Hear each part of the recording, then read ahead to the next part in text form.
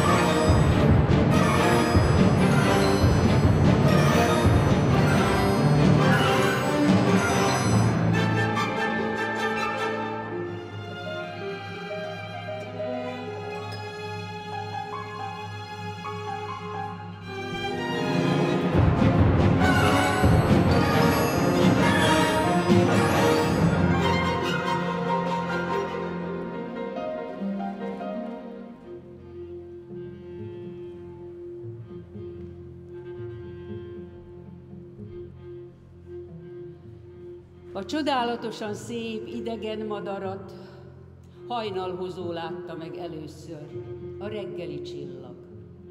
Keletről érkezett, éppen mintha a napsugaraival együtt jött volna. Fehér volt az idegen madár, de olyan fehér, hogy ragyogott, mint az ezüst. Kisebb volt, mint kelep, a gólya, de a vén bikánál karcsúbbnak látszott. Kiterjesztett szárnyakkal érkezett, ragyogó fehéren, és éppen akkor ereszkedett le a tópartjára, amikor hajnalhozó átadta helyét apjának, a napnak. A madarak mind felütötték a fejüket, és mind figyeltek. Soha még olyan szépet nem láttak, mint amilyen gyönyörűen szép az idegen madár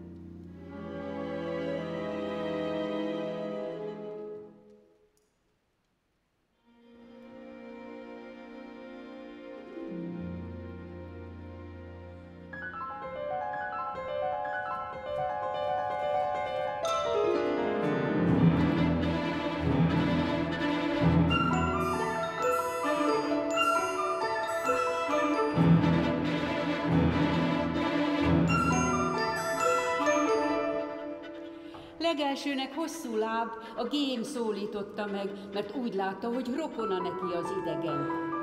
Ki vagy te, csodálatos rokon, és honnan jössz, hogy sohasem láttunk eddig? Kócsagnak neveznek, felelte az idegen madár, és az angyalok madara vagyok. Velem küldik el a jóságot és a békességet, amit összegyűjtögetnek az égben a világ számára. Azért vagy hát olyan fehér, lelkesedtek a madarak.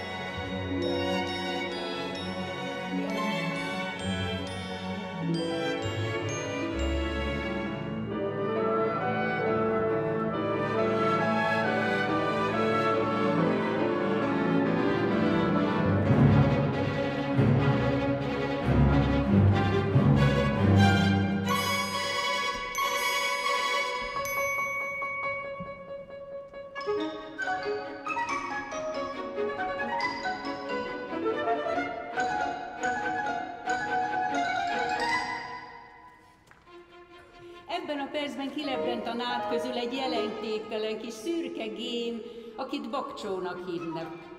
S lelkendezve mondta, milyen szép vagy. Nem én vagyok szép, nézett rá szelíden a kócsag, csak a tollaim szépek. Mert mindegyikre egy angyalnak az üzenete van írva azok számára, akik szomorúak. Én csak az angyalok postása vagyok.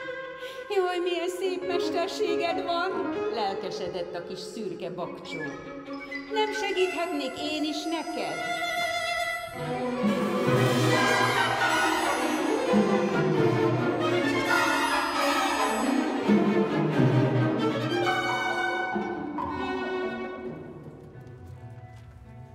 A madarak hangosan nevettek ezen a beszéden, mert furcsa is volt.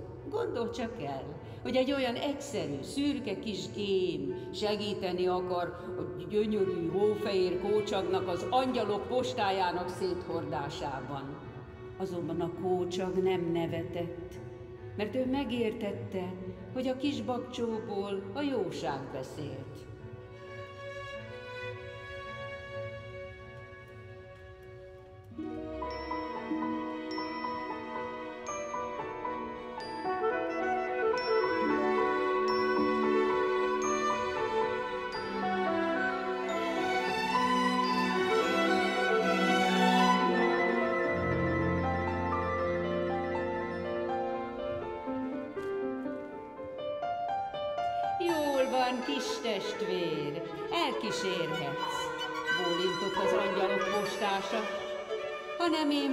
Pihenni akarok, csak este indulok tovább.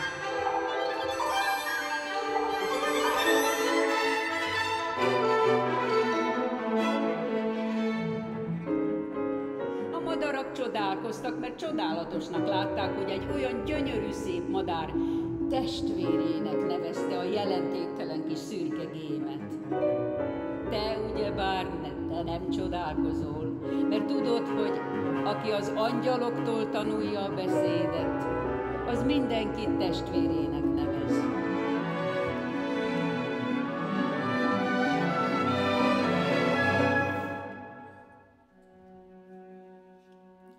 Kis bakcsó alig fért bőrébe az örömtől. Egész nap repdesett, készülődött, tisztára súrolta a tollait, szürke sapkájába két szál hosszú zöld tollat tűzött. Ezt megtalálhatod ma is minden jóra való bakcsó fején, és alig győzte várni az estét.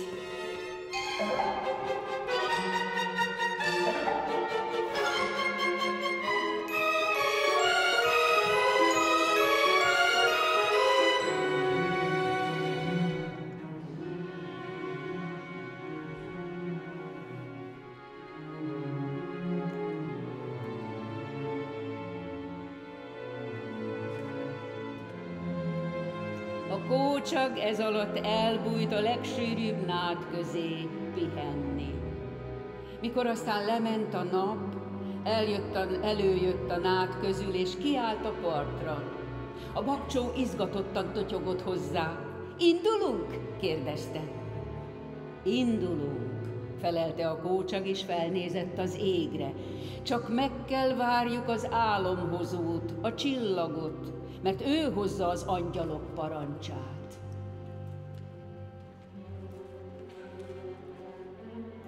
Aztán feltűnt álomhozó, fényében megvillant a parancs, és a kócsak kitárta szárnyait. Indulhatunk, mondotta. És olyan halkan, és olyan puhán szállt föl a tópartjáról, és olyan gyönyörű fehéren, hogy a madaraknak tátva maradt a csőrük a csodálkozástól. Mint egy ragyogó, fehér csipkefátyol, úgy szállt tova a tó fölött.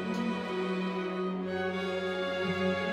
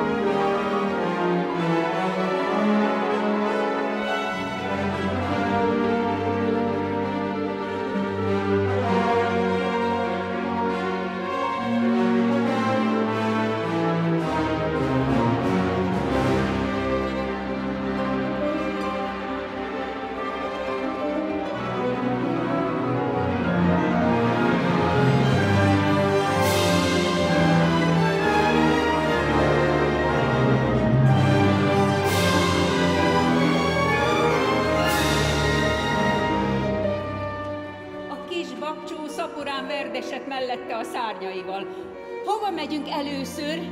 kérdezte kíváncsian. Meglátod, felelte a kócsag.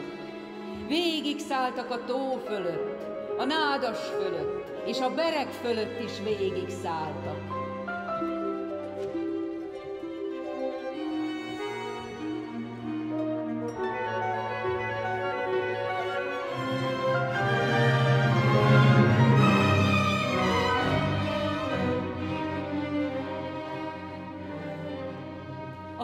Felé szálltak, ahol az emberek laktak, szomorú házakban. A falu szélén, ahol a nádas a réttel találkozott, egy ember állt, puskával a kezében. Haragos ember volt, rossz ember, tele irítséggel, gonoszsággal és egyéb csúnya dolgokkal. Az ember meglátta a fehér madarat, fölkapta a puskát, és rálőtt.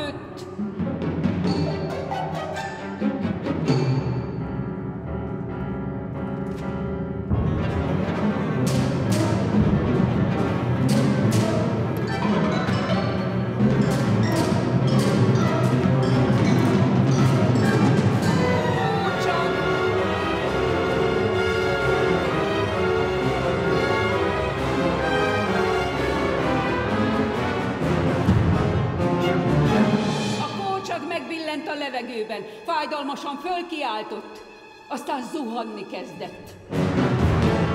Szegény kis bakcsó rémülten keringett körülötte, de nem tudott segíteni.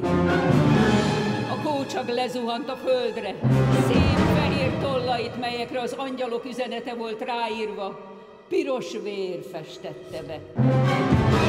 Sóhajtva még fölemelte egyszer a fejét, és fölnézett a kis rémült bakcsóra. Eríts! Mondd meg az angyaloknak, fogadjanak új postás helyet.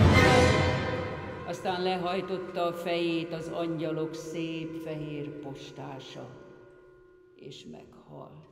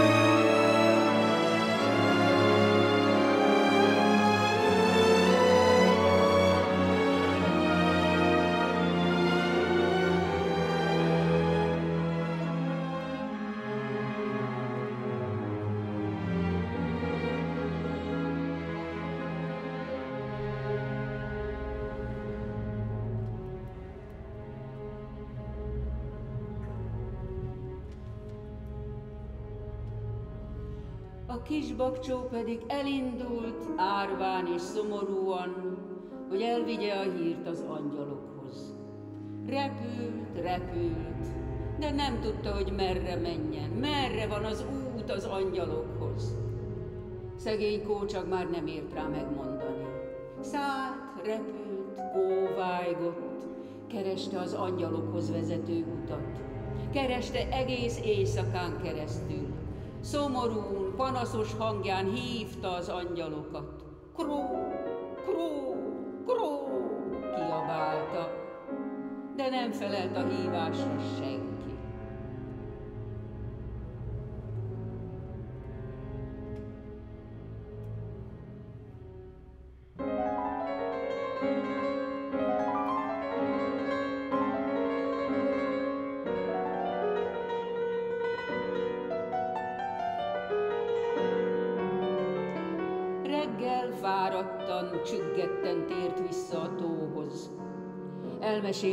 Történt a kócsaggal, és erre a madarak mind nagyon szomorúak lettek. De egyikük sem tudta megmondani, merre kell repülni az angyalokhoz. A kis bakcsó pedig behúzódott a legsűrűbb és legsötétebb nádasba, és ott búsult egész nap. Este pedig, mikor álomhozó fénye megcsillant újra, eszébe jutott a parancs, és elindult, hogy tovább keresse az utat, mely az angyalokhoz vezet.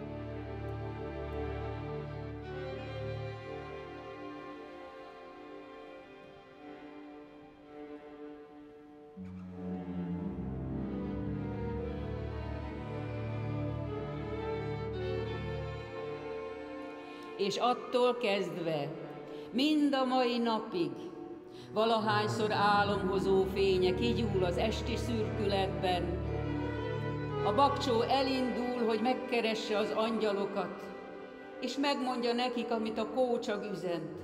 Fogadjanak új postást maguknak. Panaszos mély hangján hívogatja őket, és ez a hang olyan szomorú, és olyan éppen, mintha valami, valami vén varjú panaszkodna az éjszakában.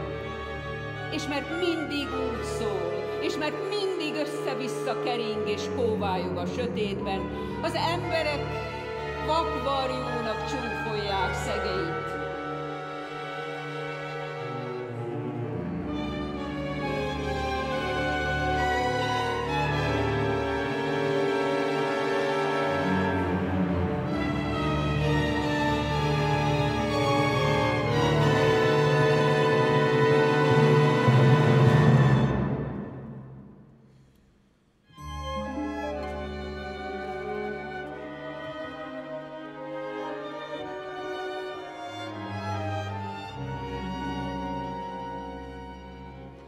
De te, te ugye nem fogod csúfolni.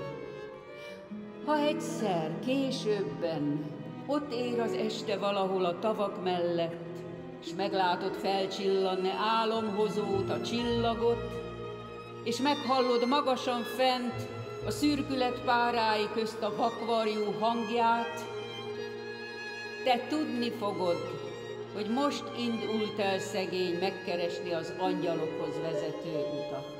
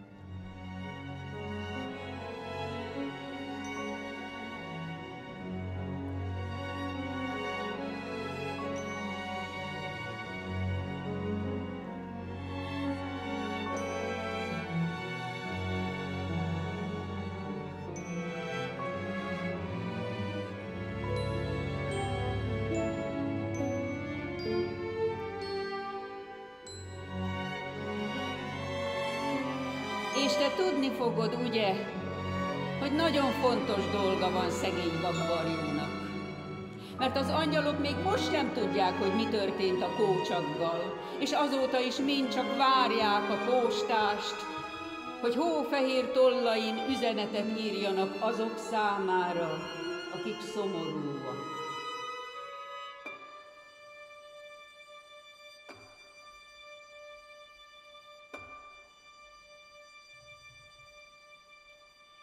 Mert bizony, azóta sok üzenni valójuk gyűlt össze. Gondolhatod. thank